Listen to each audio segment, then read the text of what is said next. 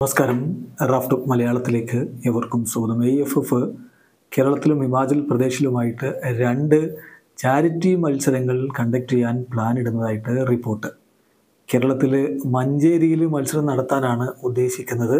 ഈ മാസം അവസാനം മത്സരം നടന്നേക്കും. അത്തരത്തിലാണിപ്പോൾ വാർത്തകൾ പുറത്തേക്ക് വരുന്നത്. കേരള സൂപ്പർ ലീഗ് ഇലവനും മുഹമ്മദൻ സെസ്സിയും തമ്മിൽ ഏറ്റുമുട്ടിയേക്കും. നമ്മളതിന്റെ വിശദമായിട്ടുള്ള വിവരങ്ങളിലേക്ക് ഒന്ന് പോവുകയാണ്. എ എഫ് എഫ് രണ്ട് ചാരിറ്റി മത്സരങ്ങൾ കേരള ആൻഡ് ഹിമാചൽ പ്രദേശ് ഈ സ്ഥലങ്ങളിൽ റിലീഫ് വർക്കിന് വേണ്ടിയിട്ട് നടത്താൻ പോകുന്നു എന്നാണ് ഇപ്പോൾ പുറത്തേക്ക് വന്നിരിക്കുന്ന വിവരം. ആദ്യ മത്സരം ഓഗസ്റ്റ് മുപ്പതിന് മഞ്ചേരിയിൽ വെച്ച് നടത്താൻ ഉദ്ദേശിക്കുന്നു.